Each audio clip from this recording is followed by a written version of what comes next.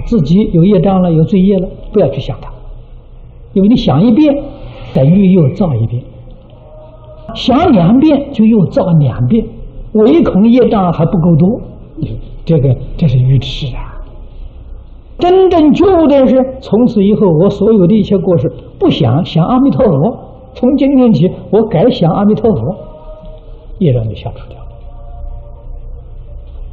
大家要明白这个道理，真正消除业障啊！而今而后啊，什么妄念都没有了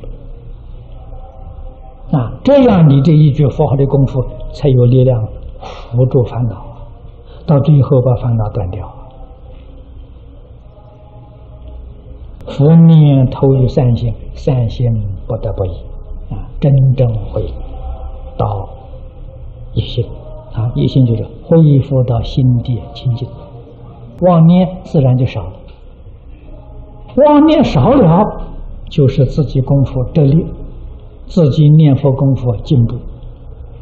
从这个地方很明显的觉察到，我功夫有没有进步。那么念经也是如此，目的也无非是把这些妄想分别执着给念掉。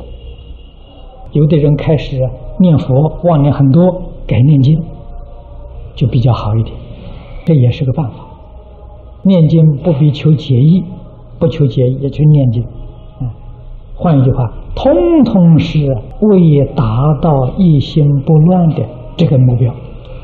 念经念佛都是手段，都是方法。